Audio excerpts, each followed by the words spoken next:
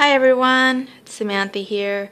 Just wanted to give you a quick update on my uh, African violet at home that is in full bloom pretty much. There you go.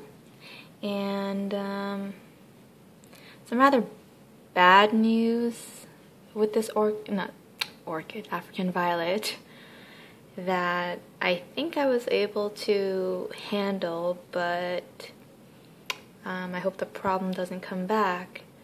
Now, what I noticed was um, there were white little mealy bugs or bugs and that was pretty much infesting my Afri African violet. And what I did was I pretty much um, doused it down with a mixture of uh, dish detergent and water and basically just sprayed it to death. And I left it on for about 10 minutes. And I didn't use a lot of detergent just a little bit like a teeny little drop. And uh, yeah so I left it for 10 minutes. And after that I um, I flushed it out under the sink and I'm surprised that I didn't damage the leaf but um, what I did was I just took a paper towel and just pretty much dried it as much as I could. Because I know African violets don't like water on their leaves and it will actually create water spots. But um, I think I was able to fix the problem. It's been about a week or so and I haven't seen any infestation. So I'm keeping an eye out on that.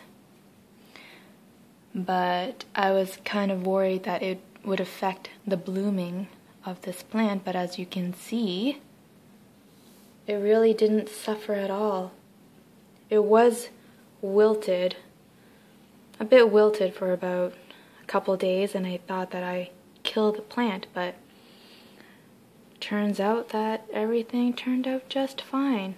So there were a few leaves that were pretty much damaged during the um, cleaning period when I washed it. So it's a little uh, uneven as you can see here.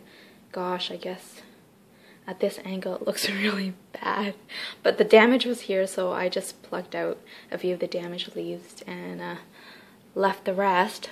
But yeah happy with the results. I'm terrified that it's gonna come back but I'll just continue doing the same thing.